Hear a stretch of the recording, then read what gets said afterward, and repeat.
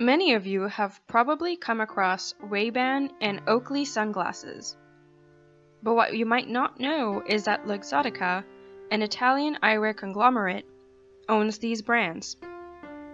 If we take a look at Luxottica's website, we can see that they own around 30 proprietary and licensed brands.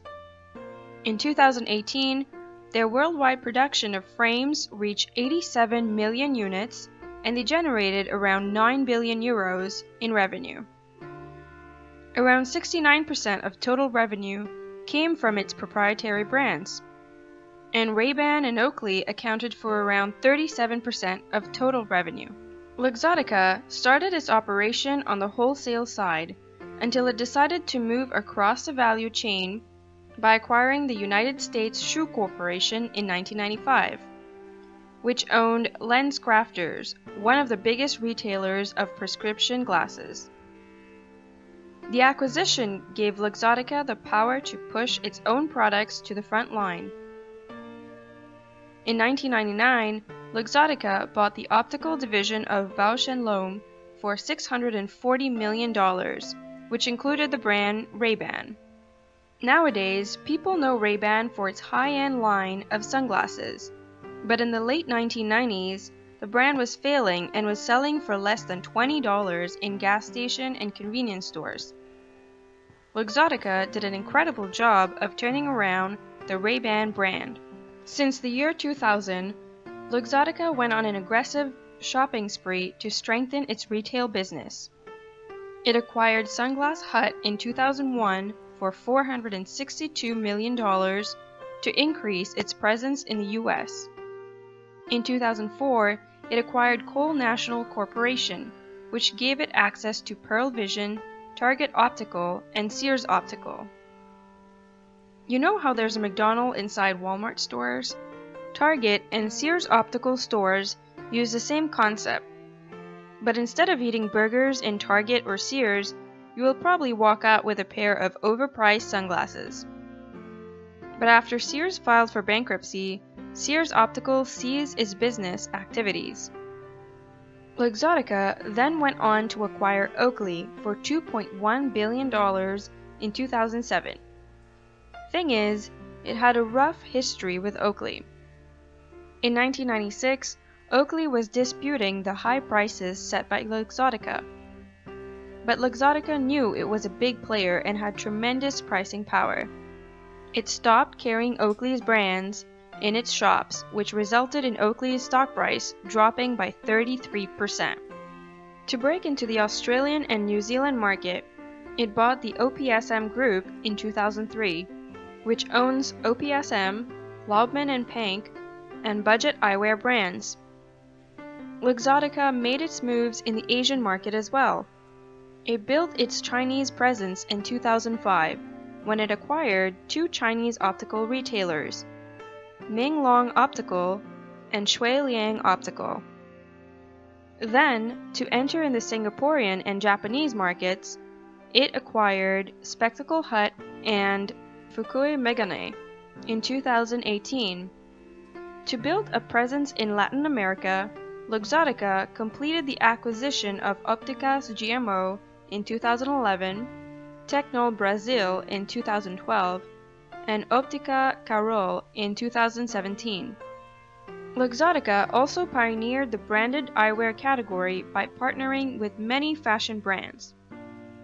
Luxottica has multi-year exclusive license agreements in place with them. Prada, Versace, Giorgio Armani, Dolce & Gabbana, you name it. Most of the fashion brands have jumped on the bandwagon. But that begs the question, if all of these brands source their eyewear products from Luxottica, then why are there huge price differences between these brands themselves? There's only so much you can put in the sunglasses. It's not as if the $1,000 sunglasses are made of moon dust. But the brands do not really care as long as they fill their pockets. You see, Luxottica has to pay them a royalty of 5 to 14% in addition to a marketing contribution of 5 to 12% of net sales, Luxottica did not leave any stones unturned. In an attempt to conquer the digital eyewear buying experience, it acquired Glasses.com from WellPoint in 2014, which allows customers to try on glasses via their virtual try on technology.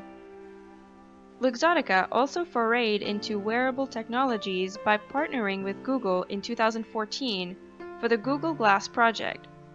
In addition to everything else, Luxottica operates in the insurance space through EyeMed, the second largest vision benefits company in the US that serves over 52 million customers. Let's think about this. If you are insured by EyeMed, you will most likely buy a Luxottica brand that's covered by the insurance.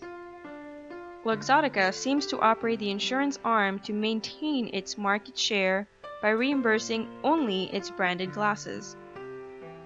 As if Luxottica was not big enough, it announced a merger with Essilor in 2017.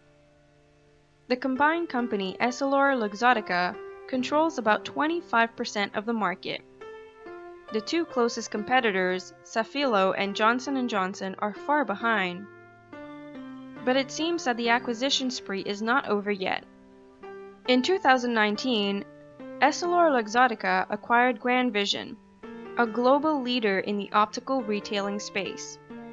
All of these acquisitions resulted in Essilor-Luxottica owning over 16,000 retail stores. And these are pretty impressive numbers. To put that into perspective, Walmart has around 11,500 stores worldwide. Luxottica's growth by acquisition strategy helped build its vertically integrated business model. The conglomerate covers the entire spectrum of the value chain, from product design to distribution, which essentially allows it to be a price maker. Two former executives of LensCrafters claim that markups on Luxottica's eyewear could go up to 1,000%. Competitor Warby Parker took a stab at offering cheaper frames. They design their frames in-house and work directly with frame suppliers to lower the cost of production. They then pass on the cost savings to customers. But at this point, Essilor-Luxottica could end up acquiring Warby Parker as well. What do you think of the prices of your glasses? Do you use any of Essilor-Luxottica's brands? Have you switched to cheaper alternatives like Warby Parker?